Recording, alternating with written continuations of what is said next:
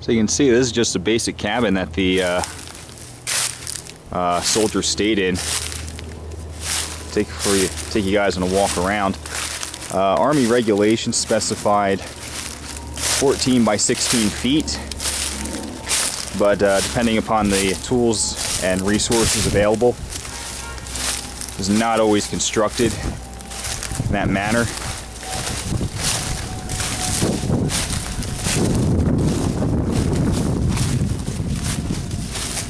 But uh,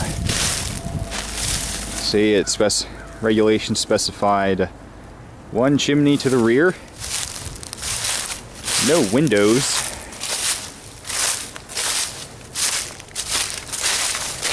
And uh, door facing the road.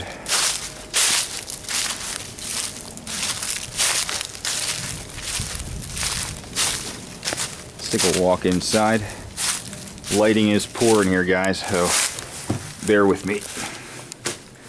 You can see one fireplace to the rear, and this uh, place actually slept 12 soldiers in bunks like these. Three there, three there, and it's the same to the rear of uh, to it's the same behind me.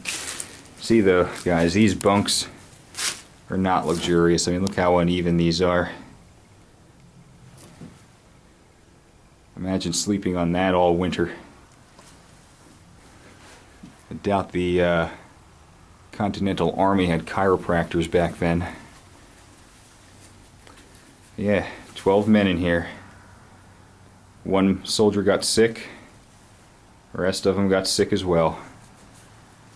Disease ran uh, wild in this encampment. It's hard to imagine. Out of focus. It's just hard to imagine living under these conditions, but they did it. It's got a basic wooden shingled roof. Ah, uh, they need to repair that.